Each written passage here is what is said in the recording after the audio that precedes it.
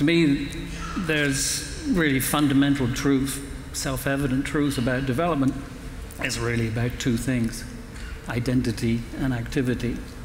Knowing who you are, whoever that may be, and why you're here today, what you have to do.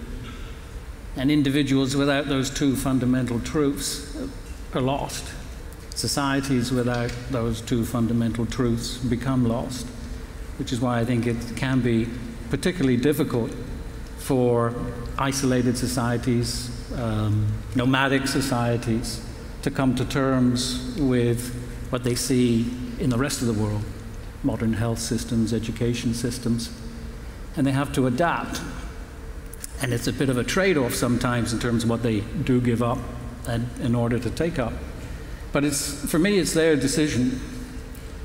And a part of the problem, I would suggest, of international assist assistance has been the distance to these issues, the distance that they, they have and have maintained for, for too long. I'm an economist, I've worked as an economist for 40 years, it pays the bills. But for me, development is fundamentally about people. It's not about monetary economics, fiscal economics, trade, investment, uh, business, and, and, and such. And um, I don't see development organizations having come sufficiently to terms with the best way to uh, assist people taking, and societies taking some very difficult decisions. Well, where do you see things going wrong? Because one of the issues here is whose agenda are they mm. meeting? Are they meeting their own agenda as a development agency? Are they meeting the agenda of the locals and how have they established that agenda? What sort of conversation have they had with locals? Where have things? Where have you seen things go horribly wrong? I've seen things go horribly wrong many times in many countries. Um, I'd say a fundamental part is just people don't talk. Mm. They don't participate. They don't in taking a decision. I mean, even tonight we're talking about what would, should we do. Well, it's not really our decision. I mean, the decisions on culture and development must come from the societies themselves, and they must be given the freedom, you know, the space to address the issues in their time and to decide for themselves. We don't always give them that space and that time. Beyond that, I would suggest that a lot of development still tends to focus on the technical and the financial and is encapsulated within a fiscal year, a budget.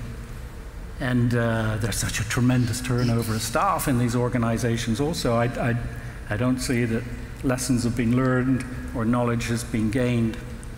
Um, and there's a political end to it. I mean, we all must know that.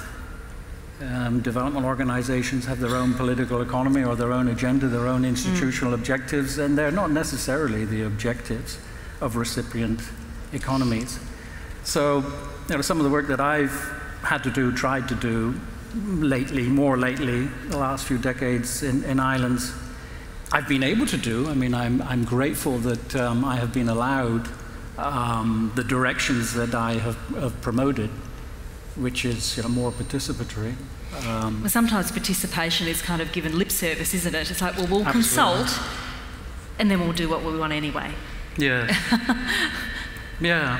Um, and, and, and, unfortunately, I don't see you know, most organizations, uh, be they bilateral, you know, government, Australia, New Zealand, UK, Europe, US, whatever, or multilateral, World Bank, ADB, I, I, don't see them really questioning their approach. I don't see them uh, looking to outcomes of development and coming back and saying, well, what are we doing wrong? We seem to be repeating many of the same mistakes.